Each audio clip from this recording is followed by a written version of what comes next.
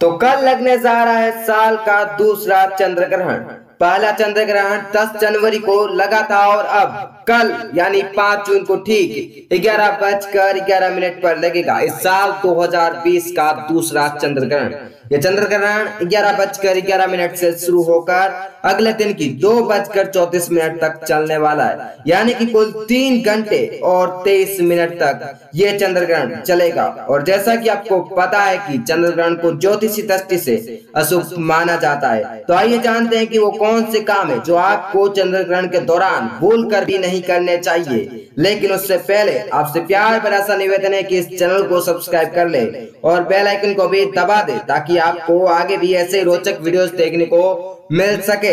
साथ साथ इस वीडियो को लाइक और शेयर भी करें ताकि हम आगे भी ऐसे वीडियोस लेकर आ सके। जैसा कि आपको पता ही होगा और ना भी पता है तो डोंट वरी, मैं आपको बताऊँगा कि ये चंद्र ग्रहण उपछाया वाला चंद्र ग्रहण है और इसीलिए आपको सामान्य चाँद और चंद्र ग्रहण में ज़्यादा अंतर नहीं लगेगा।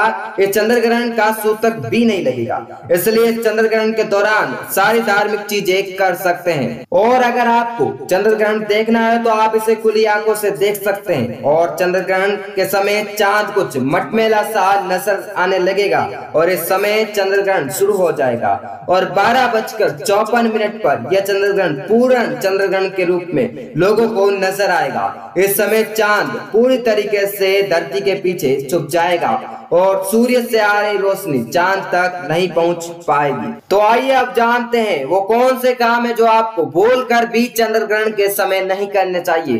तो आपको बता दे, ग्रहण के समय आपको बोल कर भी खाना नहीं खाना चाहिए, क्योंकि वैज्ञानिक दृष्टिकोण से देखा जाए तो इस समय खाना सबसे जल्दी खराब होता है। और ग्रहण के दौरान सारी खाद्य वस्तुएँ जो घर में रखी हुई है, उन्हें सबको ढक कर रखना चाहिए। और ऐसा भी माना जाता है कि चंद्र ग्रहण के दौरान यात्रा नहीं करनी चाहिए। और जो लोग ज्योतिष शास्त्र में विश्वास रखते हैं वो इस चंद्र ग्रहण के दौरान महत्वपूर्ण कार्य भी नहीं करते हैं। वहीं गर्भवती महिलाओं को खुले में या आँगन में या छत में जाने से भी रोका जाता है, क्योंकि माना जा रहा है कि ग्रहण के अंदर पल रहे बच्चे के ऊपर इसका नकारात्मक प्रभाव पड़ता है। तो ये कुछ बातें हैं जो आपको चंद्र ग्रहण के दौरान बोल कर भी नहीं करनी चाहिए, क्योंकि इन सब के पीछे कहीं ना कहीं वैज्ञानिक दृष्टिकोण छिपा हुआ है। तो ये कुछ बातें थी जिन्हें आप अंधविश्वास मानो या विश्वास। जो भी बातें थी वो चंद्र ग्रहण को लेकर वैज्ञानिक और ज्योतिषी तौर पर बताई गई है। वीडियो अगर अच्छा लगा हो तो लाइक करें, शेयर करें, साथ ही साथ चैनल को सब्सक्राइब करें और बेल आइकन को दबाएँ। फिर मिलते हैं नए वीडियो के साथ, तब तक के लिए धन्यवाद।